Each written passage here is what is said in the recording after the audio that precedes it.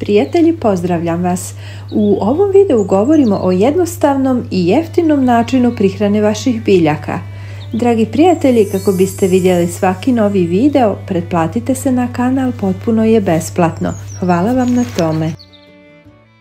Iako većina nas nakon guljenja crnog luka bacamo njegovu ljusku, savjetujem vam da to više ne činite. Skupljajte ljuske luka u staklenoj tegli, poklopite poklopcom i ostavite ih jer su one zaista izvrsna organska prihrana za vaše biljke. One spriječavaju razvoj gljivičnih oboljenja i truleži, povećavaju otpornosti na bolesti, jačaju imunni sistem i normalizuju disanje biljaka. Stimulišu rast mladih sadnica, ojačavaju njihove listove i stabljike, spriječavaju pojavu truleži korijena. Potrebna vam je jedna šaka ljuski luka, jedan lovorov list i pola litre vode. Sve to stavite da proključa i kuhajte oko 5 minuta. Ostavite da odstoji 3 do 4 sata i razblažite sa 5 litara vode.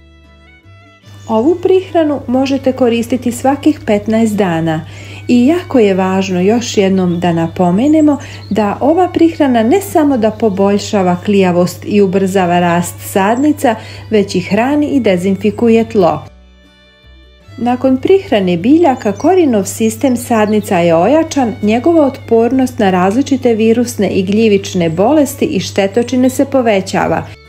Ova prihrana biljaka spriječava razvoj truleži korijena koji često pogađa krastavce i drugo povrće. Poboljšava metaboličke procese u klicama doprinoseći bogatoj i obilnoj berbi. Dragi prijatelji, pošaljite ovaj video i vašim prijateljima kako bi oni vidjeli ovu organsku prihranu. Hvala vam na gledanju.